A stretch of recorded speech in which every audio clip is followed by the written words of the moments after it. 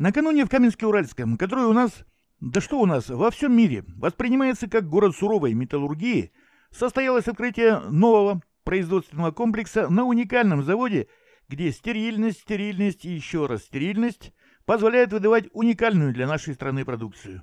В присутствии большой делегации от руководства области на заводе медицинских технологий, который отмечает свое первое 25-летие, был пущен в эксплуатацию комплекс по производству двусторонних игл для забора крови. Его строительство при господдержке размером около 130 миллионов рублей шло последние три года.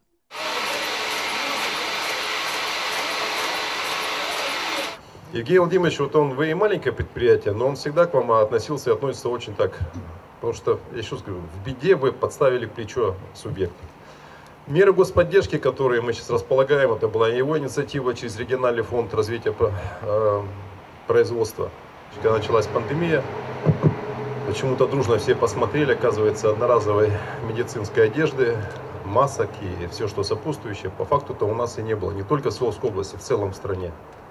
Вы сами не понимаете, какой подвиг вы совершили, но вы его совершили. По крайней мере, мы не допустили массового заболевания врачей, иначе нам бы неким было лечить население Свердловской области.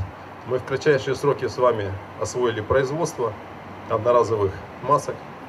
И, и смею вас уверить, решили очень много и много вопросов, связанных с безопасностью наших медицинских работников.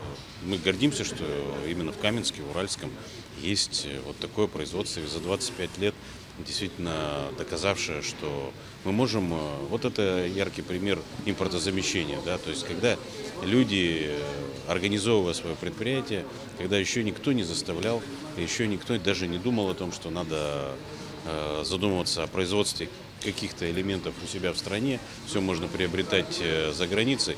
А они вот такой э, стратегический вектор для своего развития приняли и не прогадали, сделали все правильно. И пандемия, э, то есть когда оказались мы в таких условиях, что и масок не хватало, и можно сказать, что завод медицинских технологий ну просто спас на сегодняшний день именно на комплектах из Каменска-Уральского в год производится 1 миллион хирургических операций. Нам приходится подстраиваться под клиента.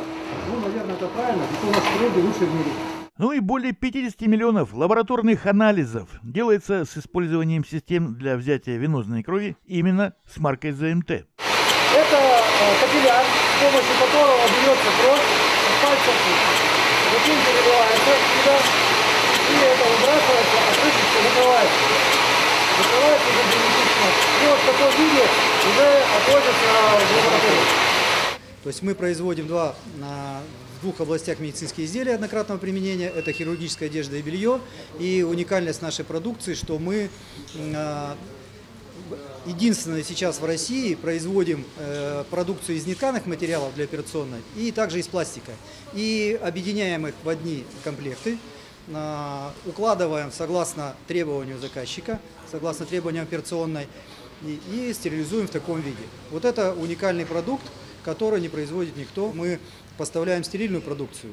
Мы не имеем права здесь на ошибку, потому что не стерильность может привести к э, нанесению вреда здоровью, э, не дай бог жизни пациента. Поэтому это большая ответственность. Да, и наши рабочие это прекрасно понимают. И слава богу, у нас не было э, за нашу историю ни одного такого случая.